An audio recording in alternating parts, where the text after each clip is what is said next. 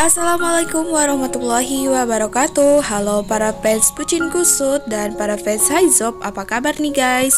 Semoga kabar baik ya guys Dan semoga selalu dalam lindungan Allah subhanahu wa ta'ala. Oke guys, berjumpa lagi nih bersama Neng Mimin. Kali ini kita bakalan membahas tentang Rangga Azop, Haiko Panderpeken, dan juga Safira ya gengs.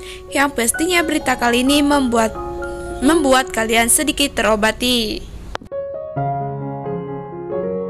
Ya namun sebelum lanjut, bagi kalian yang baru saja bergabung, jangan lupa nih untuk tekan tombol subscribe-nya ya guys. Dan jangan lupa juga untuk nyalakan lonceng notifikasinya. Terima kasih.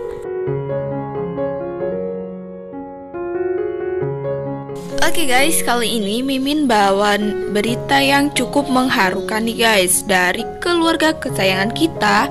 Siapa lagi kalau bukan Azop, Koko dan juga Safira? Nah, beberapa hari kemarin Syafira kepergok lagi nangis-nangis nih guys Karena dia kangen nih sama mama papanya di sinetron Samudra Cinta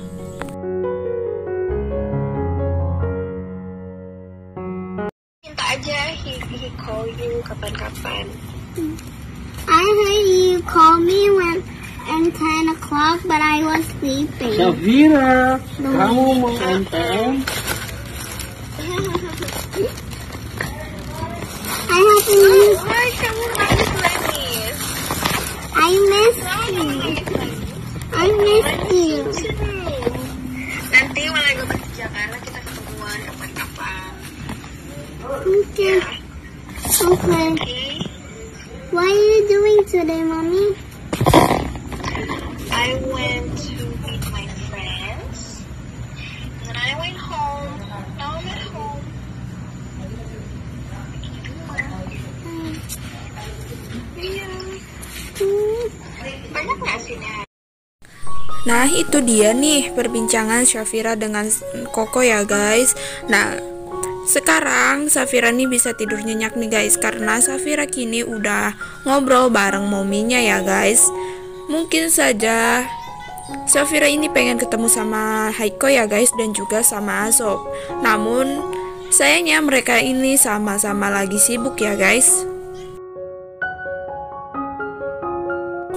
Dan di sini keliat banget ya guys jika Haiko dan Safira ini bener-bener deket banget sampai-sampai Safira pun nangis nih pengen ketemu sama Neng Koko.